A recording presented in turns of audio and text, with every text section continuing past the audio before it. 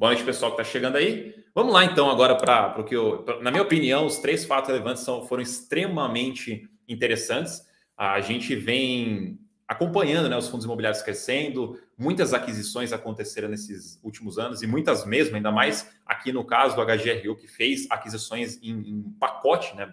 Agora não lembro quantos foram que compraram de uma vez, mas era alguma coisa de 40, 30, 40 imóveis, até 60 imóveis de uma vez. Não sei se você lembra de cabeça aí, professor, mas foi realmente 66. um pacote. 66. Eu lembrava que era alguma coisa assim. É muita loja de uma vez. E agora a gente está vendo um desinvestimento. A gente costuma falar bastante sobre o imóvel entra no fundo, a gente aproveita a renda dele, aproveita o amadurecimento dele e algum dia, eventualmente, pode ter um momento de saída para entregar um resultado para os cotistas. E o fundo fez essa semana uma venda de, uma, de um imóvel da Pernambucanas. Os valores estão na tela. Ele vendeu por 5,6 milhões de reais. Isso daí dá mais ou menos 4.400 um metro quadrado. O imóvel foi adquirido ali no final de 2020, então ele tem mais ou menos um ano e meio ali dentro do portfólio do HGRU. A venda gerou um lucro de 8 centavos por cota. Lembrando que eh, automaticamente as pessoas gostam já de imaginar que o próximo rendimento já vai vir 8 centavos a mais. Não é assim que funciona. E uma coisa que a tem que descontar despesa, taxa, tudo mais, mas uma coisa também que a gestora já falou publicamente, que é uma forma que eles administram os rendimentos, é que a tendência deles é distribuir sempre no fechamento do semestre o, esses lucros, né? Então, pode ser que venha maior, não sabemos, vamos ter que acompanhar os relatórios gerenciais, mas a tendência da gestora é sempre deixar para o fechamento do semestre. O preço de venda, aqui como uma referência para a gente ver o quanto boa ou ruim foi a aquisição, ela foi de 37% acima do valor investido e deu uma TIR de quase 30%. Então, um valor bem interessante aí. Eu vou pedir a opinião do professor Baroni, mas antes de eu pedir, eu queria mostrar a segunda, o segundo fato relevante, que se a gente olhar aqui, eu vou até passar rapidinho para frente e para trás, para vocês verem que é muito parecido. É quase o mesmo fato relevante. Porque ele fez uma venda hoje de outro imóvel da Pernambucanas pelo mesmo preço de venda, só que o valor ali por metro quadrado já deu bem diferente, né? 5.400 mais ou menos.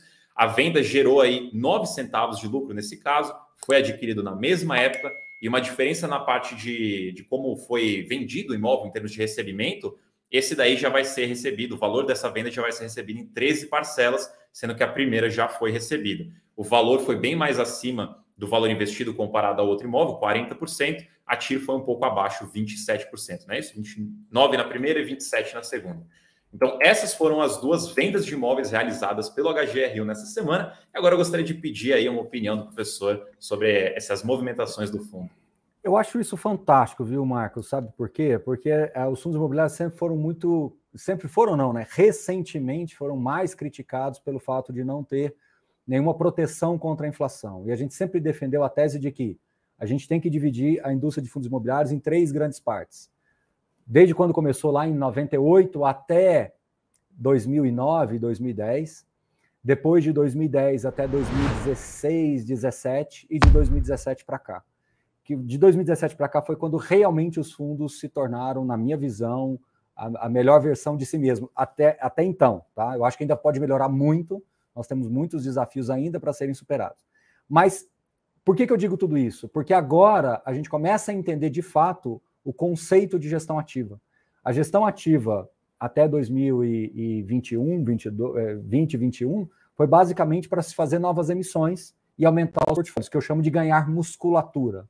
Só que hoje, muitos fundos imobiliários têm musculatura suficiente para começar a fazer esse tipo de movimento que a HGRU fez, que é de começar a vender ativos, principalmente esses ativos que têm um ticket menor, você consegue vender, você consegue gerar lucro. Então, assim, esses dois imóveis, eles geravam 0,0 quase nada de receita imobiliária, que são imóveis pequenos, e o que você consegue antecipar de resultado para o cotista é muito grande. E as TIRs, né, as taxas internas de, re, de retorno, corroboram que há sim uma proteção contra a inflação, que muitas das vezes ela não vem na mesma velocidade que nós gostaríamos, porque isso aqui não é um produto de renda fixa.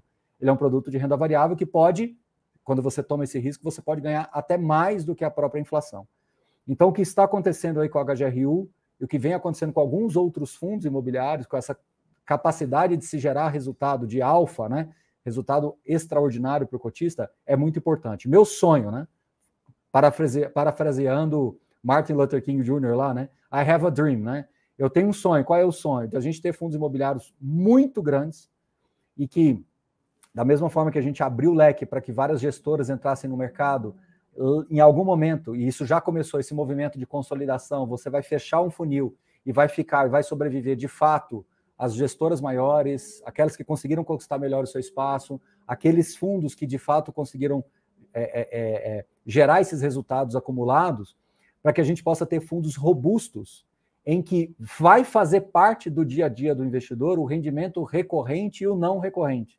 Então vai chegar uma hora, Marcos, que o HGRU e outros fundos, eles vão ter um portfólio tático também. Vão ter imóveis que vão vender, como ele acabou de colocar aí, vai é, ser recebido em 13 parcelas. Essa informação é muito importante, porque isso daí dá uma gordura para os próximos 12 meses, né? para mais um ano para frente para o fundo. Se ele tiver, em algum momento, 500 imóveis no seu, no seu portfólio, vai ser normal você estar tá comprando e vendendo ativos. E aí você vai ter uma menor necessidade de se fazer novas emissões, porque o, o portfólio vai sendo reciclável, né? vai sendo autorreciclável. Em algum momento, você vai ciclar o portfólio e reciclar o portfólio inteiro. Né? Então, isso é muito importante de começar a ser observado, de que a nossa indústria de fundos imobiliários ela vai, começa a ir por um caminho que, na minha visão, é um sonho, pelo menos o meu sonho aí, de ter musculatura o suficiente para que esses giros sejam reconhecidos pelo mercado como a real proteção contra a inflação, que até então ficou muito turva para os investidores, e eu concordo. E as emissões dificultaram ainda mais se ver. Então, como eu tenho falado nos relatórios e falo aqui publicamente, é importante que essa dor do crescimento comece a ficar cada vez mais para trás, que a gente comece a olhar agora para uma outra jornada. Inclusive, eu separei aqui, enquanto estava falando, eu separei três perguntas que eu achei bem interessante e pertinentes a, a, ao que a gente estava conversando. A primeira é mais simples de responder, que é a do Sérgio, né? É explicar o que é TIR. Essencialmente, o TIR é a taxa interna de retorno, ou seja, é o total que você teve de retorno daquele ativo, considerando a venda e considerando também os rendimentos do período. Então, se você considerar essa matemática toda, você teria recebido aí, no caso dessa imagem que está na tela, nessa notícia da tela, seria 27,2% ao ano. Obviamente, isso daí você tem que pensar também o tempo que foi que o ativo ficou dentro do imóvel. Cada ativo vai ficar um tempo, enfim, isso daí vai Na variar. Na média, um ano e meio, no, no caso pernambucanos, um ano e meio, ou seja, um, um rendimento excelente, né? É, isso daí foi bem rápido mesmo. Aí, tem uma outra pergunta aqui que o Mário ele perguntou quem comprou imóvel, isso daí a gente não, não tem como saber, não foi dito. Mas a pergunta aqui que eu achei interessante é quem costuma comprar imóveis assim? Quer responder essa daí, professor Barão? São, esse tipo de imóvel são empreendedores locais, né? São imóveis que estão ligados, situados normalmente em cidades é, pequenas, né, do interior, de algum estado, né? Uh, e aí você tem ali um empreendedor local que ele quer ter aquele ponto comercial. Para ele, esse tipo de investimento é o investimento da vida, praticamente. Então, ele vai ter um imóvel que é um excelente ponto comercial no centro de uma cidade do interior. Aquele imóvel dificilmente vai ficar vago e ele sempre vai ter esse valor agregado. Eu, eu, eu, eu falo muito sobre isso. O, o, alguns imóveis, a gente está acostumado a ter muito aquele imóvel clássico, né? AAA Faria Lima. Mas existe um mundo fora desse AAA Faria Lima. Eu sempre disse isso. Você sair um pouco do óbvio com algumas estratégias de fundos imobiliários. Então, esse tipo de ativo, ele atrai muito o investidor local, é a família que tem um capital ali investido, que quer ter um, um investimento imobiliário, o cara tem uma, uma, uma fazenda que vendeu uma, uma parte da fazenda e quer investir também no mercado imobiliário, ou recebeu uma herança. Enfim, é o investidor local, é o empreendedor local ali. E daí tem só uma terceira pergunta, é, que o Felipe perguntou, né? Professor, quando acabar o não recorrente, ou até antes, o HGRU deve alocar o principal. Isso seria um risco, pois se não for tão boa, pode cair o valor pago, uh, pode cair o valor pago por cota. Não pode responder, né? Ele não, pediu, é manda a pergunta para você, pode responder. É que esses imóveis são pouco significativos em termos de valor. Nós estamos falando de somos dois aí, Marcos? 5 mais 5, 10 milhões, é, é isso? 10, é, vai dar 11,2. É, esse tipo de, de, de, de, Hoje, com caixa, né, o CDI alto, não, não, não teria impacto, marginal praticamente. E aí o imóvel ah, você pode adquirir ou ajudar. Aí que entra o que eu falei no começo aqui. Né? Você vai chegar uma hora que você vai ter vendas, e aí esses, esses ativos voltam para o portfólio e você compra cap rates melhores. É, essa é a mágica da gestão ativa, né? Então, nesse caso, 10 milhões é muito pouco, pode ser para pré-pagar parte da, da, da, alavancagem que o fundo tem, pode ser para comprar um pouquinho de, de CRI aí, deixando num caixa melhor remunerado, pode ser para fazer volume para se comprar algum outro ativo em algum momento, mas conhecendo a CSHG como eu conheço e conhecendo o conceito de gestão ativa a partir desse momento, eu não vejo que os gestores farão movimentos para cair renda.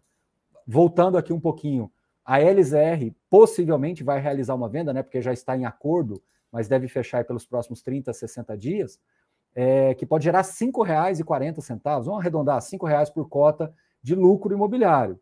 Esse dinheiro volta para o caixa? Volta para o caixa. Possivelmente vai se comprar um outro imóvel e, pelo que eu entendo de gestão ativa, ele não compraria um imóvel para derrubar a renda, ou seja, é daí para cima. Por isso que a gestão ativa, na minha visão, vai começar a, a ser melhor agora precificada. Então, quem conseguir fizer, fazer melhor esse trabalho vai ter mais, é, eu vou dizer assim, é, vai ser mais fácil de ser visto pelo mercado se enxergar esse valor, entendeu? Porque isso ficou muito deturpado. Mesmo gestoras excelentes não conseguiram mostrar esse valor porque as emissões diluíram essa capacidade do gestor conseguir comprar melhor, porque os cap rates amassaram muito na queda dos juros que vieram lá de 14,25 para 2 na pandemia. Então, quando você tem um cenário de mudança tão radical de juros assim, as compras ficam com cap rates melhor, menores. Não sei se vocês se lembram, mas várias compras vieram aí a 7,5, 8,2 de cap rate. Essa realidade parece que ficou para trás, a gente volta a ter compras de dois dígitos de cap. Né? Então, é, voltamos ao patamar Brasil normal. Né?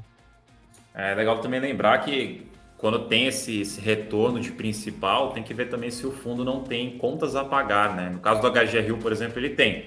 Ele tem algumas coisas que ele precisa pagar, de algumas aquisições que ele fez, e esse dinheiro pode justamente ir para essa finalidade. Isso daí também se aplica a outros fundos que, conforme recebe dinheiro de alguma venda, pode usar esse dinheiro para pagar não só aquisições, mas outras obrigações, uh, CRIs, enfim, qualquer tipo de obrigação que ele tiver.